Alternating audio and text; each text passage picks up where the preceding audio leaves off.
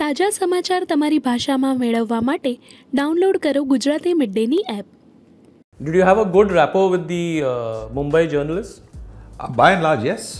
I think so. I think I don't. Uh, there was the odd one who, uh, which is which is which is what life is all about. So, but I think generally, yes. I don't think uh, I had a, an issue with any of the journalists. Occasionally, you you felt you know that was uncalled for, something that was written, etc.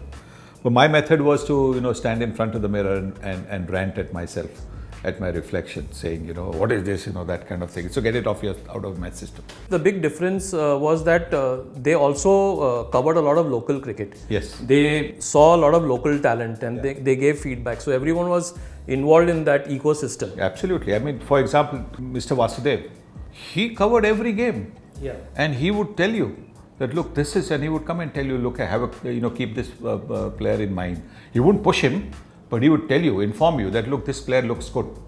Now, he would go to all the matches. He would be taking the, the, the score sheets from every 10. Tent, yes. I mean, that's a lot of hard work. I mean, when you go to the Azad Maidan, you, then you go to the to the Cross Maidan, then you go to the Gymkhanas, collect all that, and and while doing that, often it's not that you he would go at the. I'm sure he didn't go only at the end of the match. He would have been going around earlier on. For him to come and tell us, you know, that this is the Sharad Kotnis was another one who would tell us about, you know, have a look at this guy, keep an eye on this uh, person. I've got to uh, uh, confess that it was uh, Pradeep Vijayakar who in the 1981-82 uh, series against uh, England came to me um, uh, at Mumbai and he said, you know, you must promote uh, this uh, Ravi Shastri up the order because he's a very capable batter. I've seen him bat and you know. So I think Ravi went up a couple of uh, notches up the order.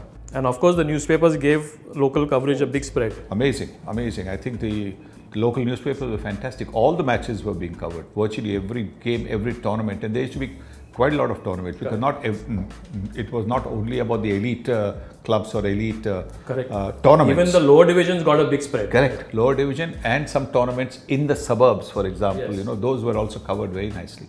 Thank you so much, Mr. Gavaskar, for your Pleasure. time and for your willingness to speak. Subscribe કરો Gujarati mid day બેલ icon પર click કરીને મેળવો તમામ વિડીયોના direct notification